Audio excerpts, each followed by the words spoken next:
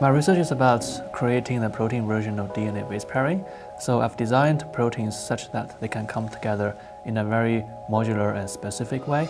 And I came up with ways to program protein-protein interactions in a way that's compatible with the DNA nanotechnology, where you can simply swap out protein residues and let them come together in a very orthogonal way. Yeah, when I'm not doing science, I'm a pilot, so on the weekends I'll just hop in a small Cessna and fly around Los Angeles.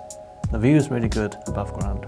I think winning this, this prize would definitely help exposing my research to a larger audience and I've already met some fantastic scientists here in Sweden and there are some potential future collaborations.